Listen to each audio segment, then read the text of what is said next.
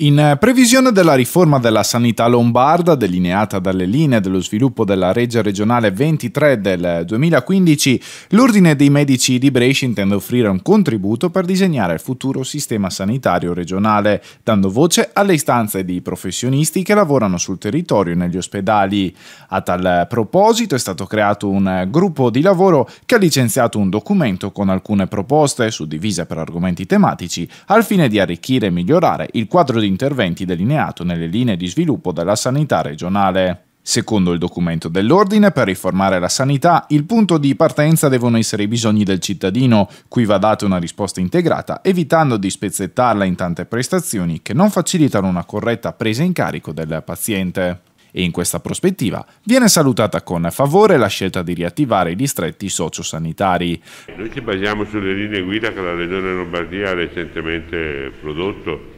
sulla riforma della legge 23 eh, che era stata introdotta cinque anni fa in termini sperimentali, abbiamo costituito un gruppo di lavoro, abbiamo constatato, secondo questo gruppo di lavoro, che vi sono dei passi avanti, si pensi alla istituzione, alla reistituzione dei distretti, pensiamo al ruolo che si può essere svolto all'interno delle case della comunità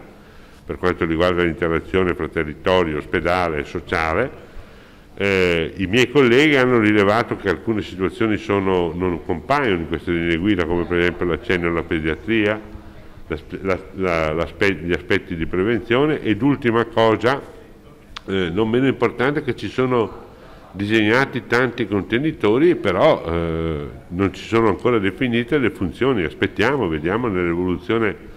dell'iter di questa legge se queste funzioni verranno definite. Sicuramente noi le valuteremo con attenzione con spirito critico laddove bisogna essere critici, come dice il nostro documento, ma sempre con un'idea propositiva che è una caratteristica di questo ordine. L'obiettivo prioritario è quindi quello di assicurare che le persone siano meglio accompagnate, assistite e curate lungo la loro vita, partendo dalla prevenzione per arrivare alla salvaguardia della salute individuale e di comunità.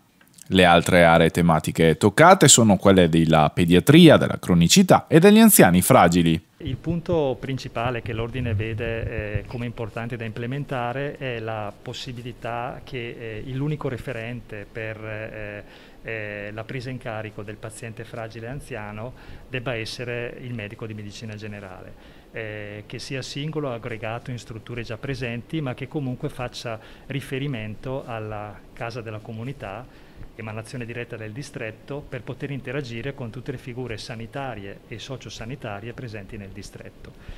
È chiaro che è un auspicio, eh, da, deve essere ancora sviluppato, però eh, l'ordine sicuramente eh, auspica questa interazione. Interazione che non deve essere solo funzionale ma anche in un luogo fisico come eh, sembra essere previsto con le case della comunità. La pediatria eh, territoriale è stata dimenticata da questa delibera eh, di Regione Lombardia, l'Ordine ritiene che comunque sia un elemento fondante e fondamentale eh, per la presa in carico sin dall'infanzia eh, della, eh, della persona e auspica sicuramente una eh, valorizzazione del pediatra di libera scelta e eh, anche delle, dei consultori familiari e vede come sbocco naturale questa interazione all'interno delle case delle comunità eh, una volta che saranno istituite. E un'altra cosa che preme eh, alla, al documento che è stato espresso è una continuità eh, nel passaggio in cura tra eh, l'età adolescenziale e l'età adulta, passaggio molto delicato